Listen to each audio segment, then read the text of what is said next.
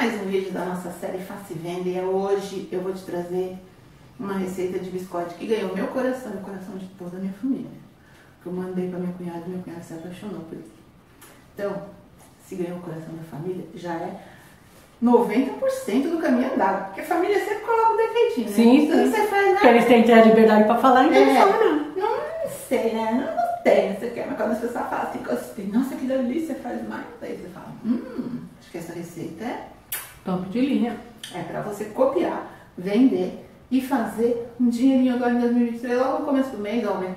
teve vídeo o mês inteiro, né? Sim. Pra pessoa ter um, uma ideia. Porque a pessoa fala só uma ideia, sabe? Você até você gosta, você entende, você sabe dos Paranauê, mas falta aquela ideia, de repente uma luz se acende. Quem sabe não acendeu uma luzinha nesses, nesses quatro vídeos que a gente tá lançando aqui pra você, fazer um dinheirinho e ficar, ó, de boa. Porque, né, a gente sabe que dificuldade financeira deixa todo mundo de cabelo branco, né? Então, vamos dar uma forcinha pra todo mundo. Assiste aí, porque esse também é facinho. Então vamos fazer o nosso biscote de gengibre. Eu amo biscote porque é fácil de fazer e é tão bom, tão gostoso. Açúcar mascavo. Mistura bem. E também não tem dificuldade para fazer não, é só isso aqui mesmo. Ovo.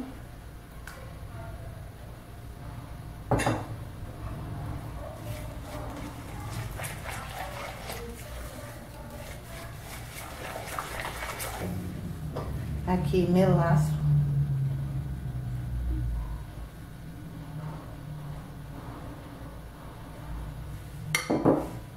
Ele fica bem, bem, bem aromático esse biscoito. E aqui eu tenho sal, gengibre em pó.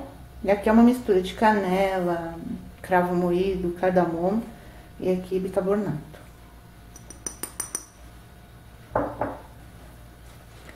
Mexe bem.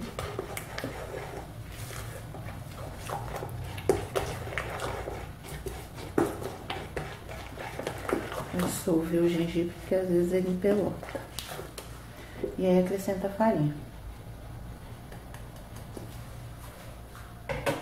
Esse biscoito vale muito a pena fazer para vender, mas também para você ter aí na sua dispensa, sabe? Porque ele além de ser ótimo para comer, é bom para presentear. Ele dura bastante. Você tem sempre alguma coisa gostosa para roer, né?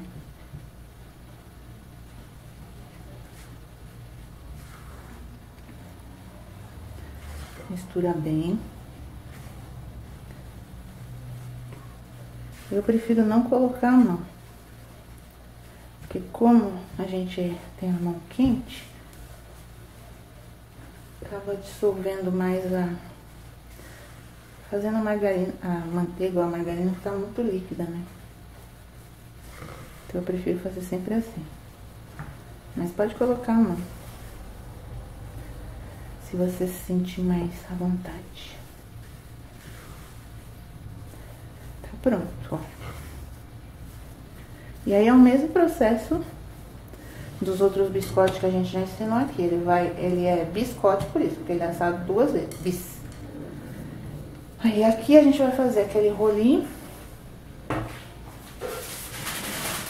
Colocar no papel manteiga.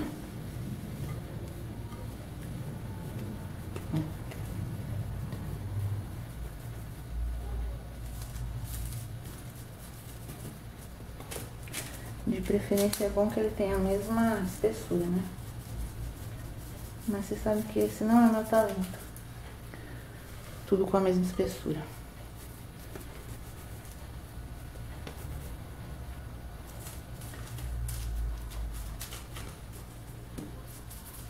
A gente leva pra assar até a base tá douradinha, tira do forno, faz os cortes e volta pro forno de novo, para ele ficar bem crocante.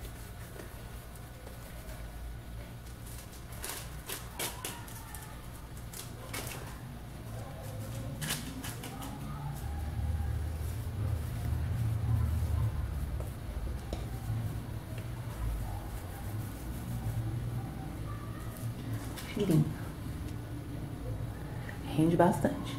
Então vamos levar pra assar agora. Tá aqui o nosso biscote já assado. Ó, ele tá quente ainda, por isso que. Ó, tá vendo como ele fica bem dourado embaixo? Mas ainda ele não tá durinho. Ele fica firme, porém não durinho. Agora a gente vai cortar.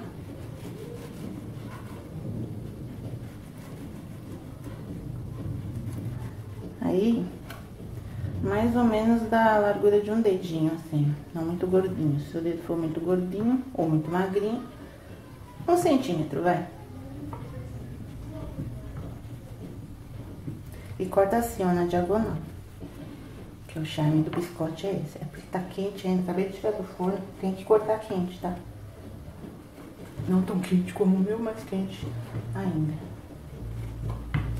Aí a gente corta.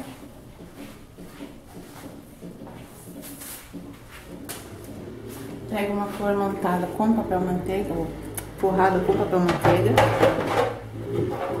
E aí a gente vai colocar eles viradinho assim, ó. E vai levar por mais 20 minutos no forno. Aí, esse também vai precisar ver o seu forno aí, né? Porque se ele for muito forte, vai menos tempo. Se ele for mais, mais forte, menos forte, vai menos tempo. Ah, você entendeu, né? E aí na metade do tempo você vai ver que ele tá douradinho embaixo. Aí você vira do outro lado para ele dourar do outro lado. Aí a gente vai levar para dourar e volta para experimentar. Viu que fácil? E como ele vai bastante especiaria, esse daqui, ele é ótimo para vender em qualquer época do ano. Mas no final do ano ele bomba. Porque as pessoas gostam assim de comer umas coisinhas com especiarias, né? Com gostinho de Natal, assim, mas ele tem você viu aí, tem. É, ele não tem um sabor específico para Natal. Não, é um sabor é, com especiarias, ele é bem aromático, ele é bem gostoso. E aí, ó, eu banhei a pontinha com chocolate branco, chocolate ao leite, e ele fica muito, muito, muito bom.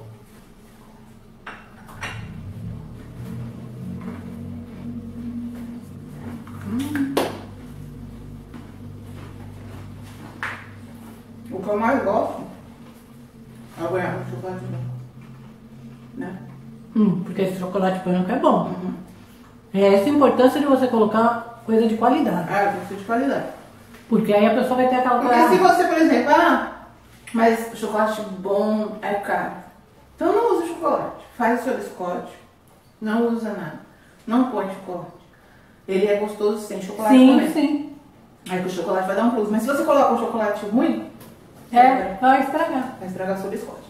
Então, se você não tá caro, você tá com pouco recurso agora para começar, faz só o biscoito. Bem feitinho, no capricho. Vê, faz o corte bonito assim para ficar bonito, porque isso aqui é o charme. Quando você pega uma xícara de chá, uma xícara de café com um biscoito desse do lado, é um charme. Tem que fazer o corte direitinho. E aí oferece lá. Oferece pra todo mundo. Porque a verdade é uma só. As pessoas só vão conhecer se você oferecer. Sim, e vai indicar para as outras. É, você faz menorzinho o seu biscoito, faz os rolinhos menores e corta menorzinho para você fazer saquinho, você distribui.